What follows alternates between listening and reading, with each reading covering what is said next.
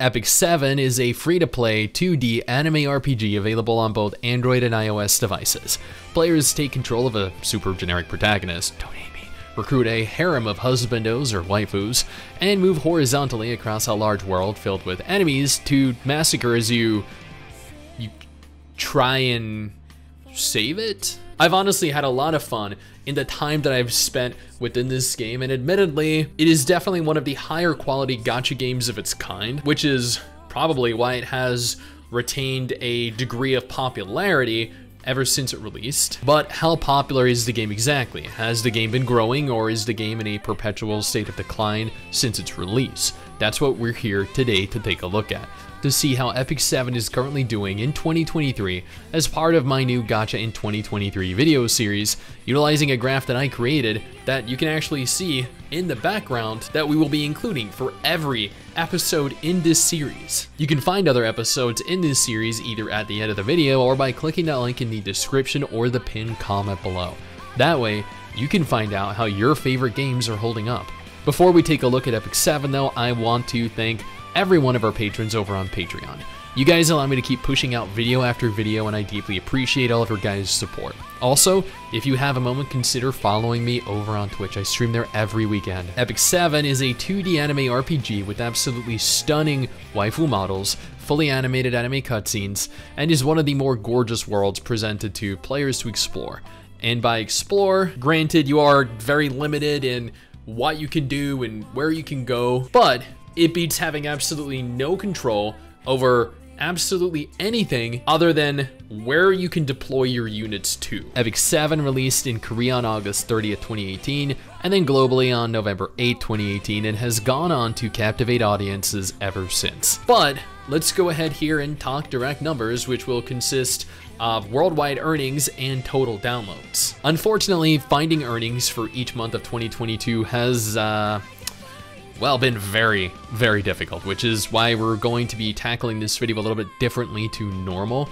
Back in 2020, Epic 7 was averaging roughly 2 to 4 million US dollars every single month, with roughly 100,000 new downloads. In 2022, two years later, Epic 7 was averaging 3 million to 4 million US dollars every single month, with roughly 80,000 new downloads per month.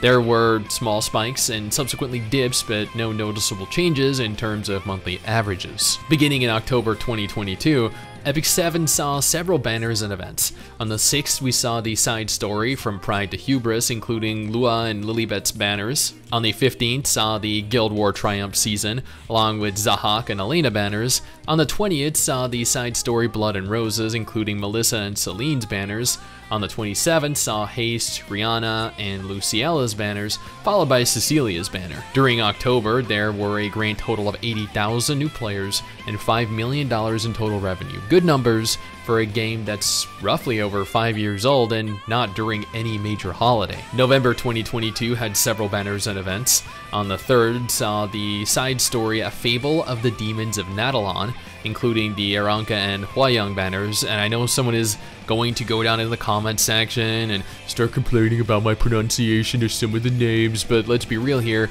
a couple of the names in this game are just really difficult, no, impossible to say out loud. The 10th then saw Peira and Cho's banner, along with week 2 of A Fable of the Demons of Natalon, the 17th saw week 3 of the same event, including Eula and Basar's banners. The 24th saw the Epic 7 x aespa collab that would go on to take place over a 6 week period, including the side story A Step Towards Kwangya Chapter 1, along with Winter's banner and Krau's banner. During November, there were a grand total of 80,000 new players and $5 million in total revenue. These numbers hadn't changed from October, which is a very good sign. December 2022 had several banners and events. On the 1st, we saw the special side story A Step Towards Kwangya Chapter 2, along with the new 5-star hero Ning Ning. On the 8th, we saw the side story Fabulous Festival of Friendship with Flan's banner. On the 15th, we saw Giselle's banner. On the 22nd, we saw Karina's banner. And then on the 28th, we saw the side story Fairy Tale for a Snowy Day, along with Alencia's banner.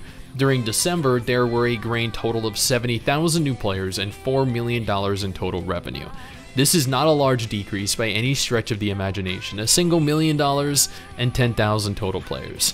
Yet that single million was also 20% of its total, which was no doubt of a slight concern, especially given this was Christmas month and many people are no doubt spending more than usual. January 2023 had several banners and events. On the 8th saw the Indomitable Arena season, chapter 2 of the side story Fairy Tale for a Snowy Day, along with Ilynav and Elena's banners. On the 12th we saw chapter 3 of the same side story along with Laika and Senya's banners. We also saw some episode revamps in the next week, followed by on the 19th the Advent side story Enraged Blazing Emissary, along with Ada and Ken's banners. On the 26th, we saw the side story The Weight of Freedom and Responsibility, along with Bihu and Arya's banners. Arya, of course, who was the subject of much attention due to her censorship. After revealing their outfit, I, I I'm gonna be honest with you guys here. I saw her outfit literally the day it was announced. I saw all of the controversy that was going on, and I don't think it needed to be censored. I liked it, but I mean, you know, that's just me. During January, there were a grand total of 100,000 new players and $3 million in total revenue. This is even lower than December's earnings and admittedly one of the lowest points in terms of revenue for the last year. But it did see an increase in total new players. February 2023 had several banners and events. The fifth saw the introduction of Moonlight Theater, The First Step, followed by Ancient Inheritance Season 5, including Euphene's banner. The ninth saw the special side story Game of Princes Week 1, followed by Tywin and Ervalen's banners. The 16th saw the special side story Romantic Getaway Week 1, along with Week 2, the Romantic Vacation Season Epic Pass, and Ran and Kawerik's banners. The 23rd saw the special side story Romantic Getaway Week 2, and the limited summon Amid, who is gorgeous, just a small FYI. During January, there were a grand total of 110,000 new players and $4 million in total revenue. This was a slight increase over January, but as the last three years have proven, Epic 7 continues to average roughly 80 to 100,000 new players every month and 2 to 4 million dollars in monthly revenue. By those statistics, we can safely conclude that Epic 7 hasn't really grown in any capacity over the course of the last several years. Rather, it has managed to maintain a regular stream of new players and revenue, which really isn't anything to mock or put down. Rather, those statistics have placed Epic 7 in the top 20 most popular gacha games worldwide literally every single month. Sure, it might not see numbers like Genshin or more recently Nikke and Blue Archive, but there are plenty of players that continue to play this game and spend money on it. But if Epic 7 isn't your thing, don't worry, I got you covered with two videos on screen right now. One featuring a list of every confirmed gacha releasing this month, and the other featuring a list of other gacha games that I have covered in my Gacha in 2023 series.